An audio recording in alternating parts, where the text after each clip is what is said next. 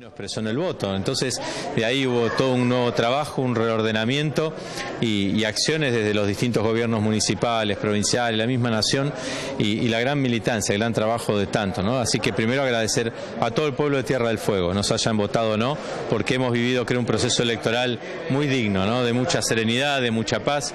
Felicitar a Carolina Jutrovich, que es nuevamente diputada, a Tito Stefani, nuevamente diputado, felicitar a Guille Fernández, nuestro ministro de Economía, que ha hecho una gran campaña y un gran trabajo, a todos los que han trabajado. Pero bueno, se logró revertir ese resultado negativo de las pasos hacia ahora y con un, la verdad con un, una gran elección en nuestra provincia. Muy bien, se fueron dando varios anuncios, extensión del subrégimen, eh, trabajos aquí en la provincia, en el caso de la margen sur, por ahí con la conectividad eh, al gas natural. Eh, ahora, ¿cómo se piensa la Tierra del Fuego de aquí en más? No, a ver, más que anuncios son realidades, porque lograr que nuestros vecinos tengan la conexión de, agua y cloaca, pues no solo acá en la margen, en Tolwyn, en Ushuaia, las conexiones de gas domiciliares, dejar de tener que estar luchando por la garrafa, estamos normalizando algunos otros barrios que fueron urbanizaciones privadas que tienen algunos conflictos, también resolviéndolo. El tema de la industria, el tema de la industria no es menor, garantizar la estabilidad laboral, tenemos que seguir trabajando por la gente de Braistar, de, de Tecnosur, de Digital Fueguina, las textiles, para que sean incorporados de una manera más clara, distinta en lo que es el subrégimen industrial, pero es un gran anuncio. Y lo que se viene para la provincia, porque se viene el crecimiento en la red portuaria, se viene la industrialización del gas y del petróleo, muy importante en nuestra provincia, mayor acceso a la tierra y la vivienda, hoy sufrimos de los alquileres muy duros y tenemos que seguir trabajando para lograr mayor acceso a, a los lotes con servicio o a la vivienda, digo, seguir trabajando de la misma manera, que creo que es el gran desafío, hoy se los decíamos acá, esto es un acto electoral, pero el trabajo de todos los días sigue, pues tenemos muchos vecinos y vecinas sin trabajo, muchos vecinos y vecinas sin acceso a la tierra y la vivienda. Le consultaba al ministro sobre, sobre esta unificación que, que, se realizó, que se pudo dar con las tres intendencias y, y la gobernación. Eh, ¿se, ¿Se puede plantear el mismo trabajo de aquí a futuro?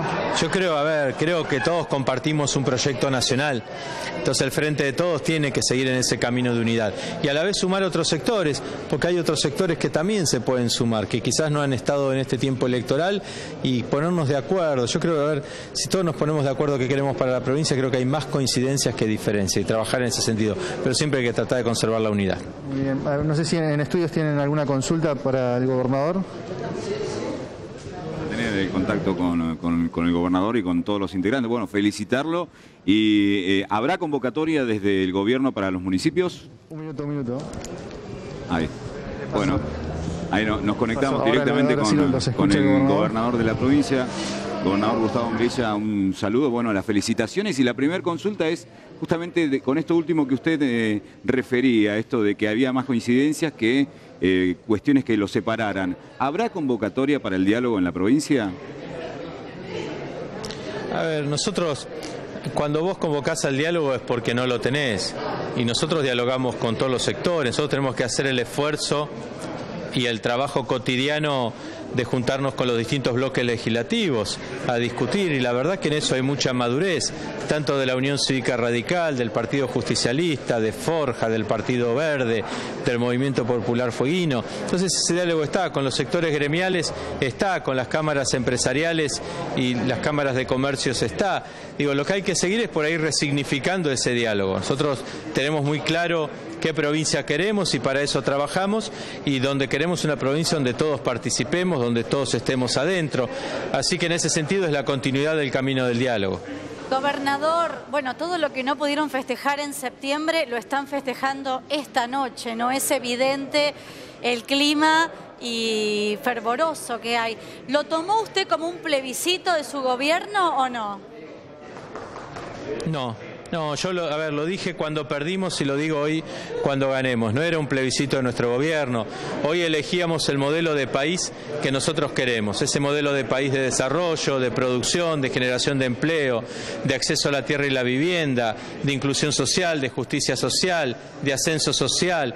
Eso es lo que se discutía. No se discutía ni la gobernabilidad del gobernador o de los intendentes o del presidente. Así que estamos felices, es cierto, estamos contentos por, por la militancia, por el trabajo, porque hemos logrado revertir eh, un, resultado electoral negativo como fue el anterior, pero con la misma sencillez y la humildad. Digo, uno tiene que ser humilde cuando gana y cuando pierde, y sobre todo porque vimos momentos todavía muy duros. No, no terminamos de salir definitivamente de la pandemia, por más de que gracias al sistema sanitario público de nuestra provincia, gracias al gran sistema de vacunación que tenemos, hoy estamos mejor, pero no tenemos que dejar de tener presente a nuestros vecinos que, que partieron, a nuestros vecinos que sufren todavía la pérdida de algún ser querido por esta pandemia, los que han perdido el empleo. Entonces tenemos que vivirlo con mucha serenidad también. ¿A partir del 15 cambia algo en el frente de todos o van a seguir juntos? Nada, tenemos que seguir trabajando por la unidad, porque nuestro presidente, hoy me lo decía, nos necesita una unidad, nos necesita trabajando todos juntos.